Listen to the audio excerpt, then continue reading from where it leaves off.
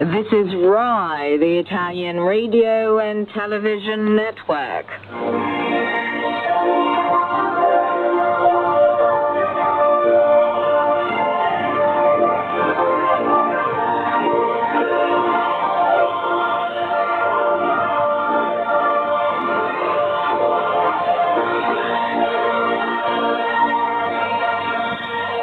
This program is being broadcast in English language to our listeners in North America. This program is coming to you over the shortwave lengths of 49.92, 31.01, and 25.42 meters, corresponding to kilohertz 6010. 9,675 and 11,800.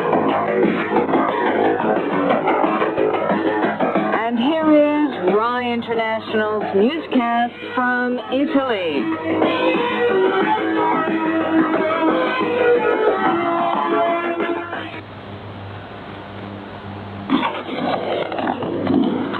Everyone. And for a look at the major news items we have for you today, we'll be opening our bulletin with reports on the dramatic attacks in New York City and Washington, which brought reactions of shock, indignation, and solidarity in Italy. President Ciampi has sent a message of sympathy and solidarity to President Bush, and emergency, emergency measures were taken at all Italian airports.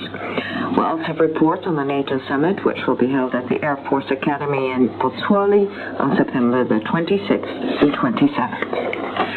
And here is the news. We are by your side were a few of the words contained in the message sent by Italian President Carlo Ciampi to his U.S. counterpart, George W. Bush. Ciampi added that there are no words which can fully express his shock and horror for the attacks against the United States, which directly touch the entire international community. Prime Minister Silvio Berlusconi said in a telephone conversation with President Bush that he is shocked by the terrifying and mass terror act which has struck the people of a nation that is a friend and the conscience of the entire world. According to Foreign Minister Renato Ruggiero, this is a terrible tragedy that places in jeopardy principles of civil coexistence and peace in the world. In sign of solidarity with the American government and people, the Italian parliament suspended its session this afternoon as soon as news came in of the terror attacks in New York City and Washington. Among the first to comment on the tragedy in the United States among opposition members was their leader Francesco Rutelli. He said that both the houses of the Italian parliament are united with the European Union in expressing their solidarity with the American people and democracy so cruelly hurt today. President of the EU Commission, Romano Prodi, has declared on behalf of the European Union that he has been horrified by the terrifying tra tragedies in New York and Washington, firmly condemning the barbaric acts which have cowardly struck innocent civilians, Prodi presented his condolences to the American nation.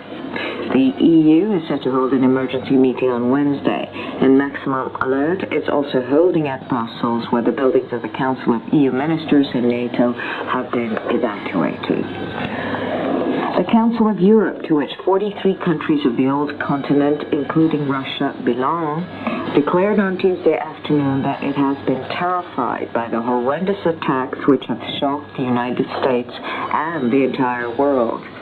The council, which hosted, which hoisted its flag at half-mast in sign of mourning, added that these attacks reveal an unacceptable strategy of war.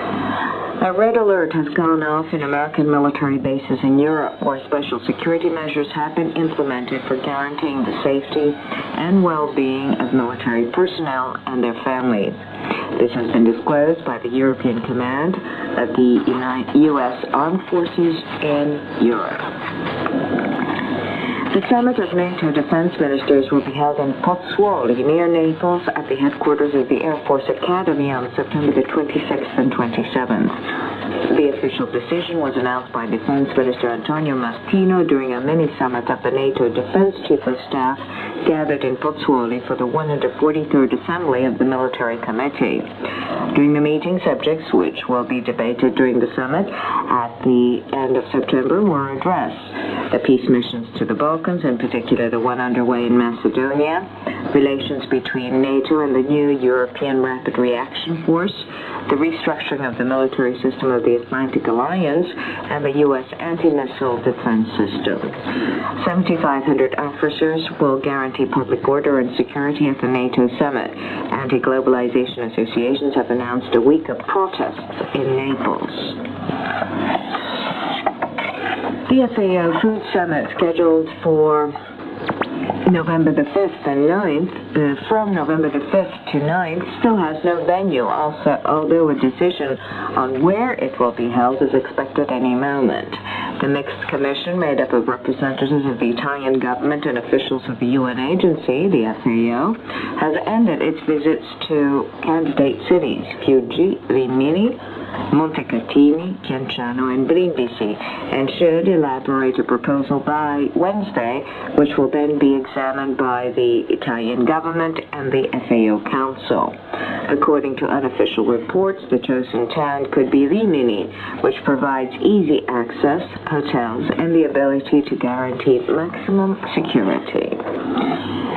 I would like to remind you that you have tuned in to RAI International Broadcasting from Rome over the shortwave length. If you'd like to write to us to let us know that you are there listening in, do drop us a line. Our mailing address is Radio Roma, PO Box 320, zip code 00100, Rome. For those others who would like to fax us, the number is area code for Rome, Italy 3317, I beg your pardon, 3906 3317 1895. And now back to the news of today. There was a new bomb alert on Monday in Florence. An explosive, I beg your pardon, a package bomb was delivered to the prefect of the city, Achille Serra. The device, the explosive device, could have exploded, causing enormous damage. Fortunately, disaster was avoided thanks to the caution of the prefect's secretarial office, which, suspicious about the package, immediately opened the package with great care and caution. Tuesdays was the second planned attack in Florence in just a few weeks, but the two incidents appear to be unrelated.